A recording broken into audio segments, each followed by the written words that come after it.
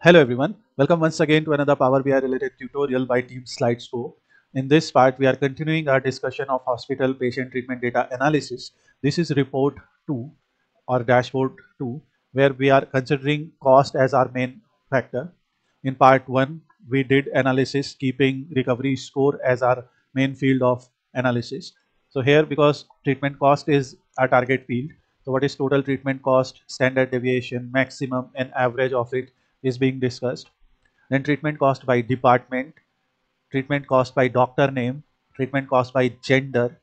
Now here we are considering both treatment type and department and with the help of ribbon chart. So what does this mean is, is something we are going to discuss.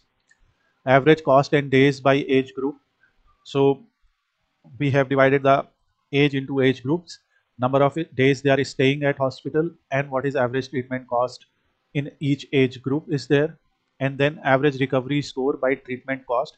So we have divided treatment cost in five bins, low value, I can say uh, mid value, something upper than mid value, high, very high, those kind of values can be considered here.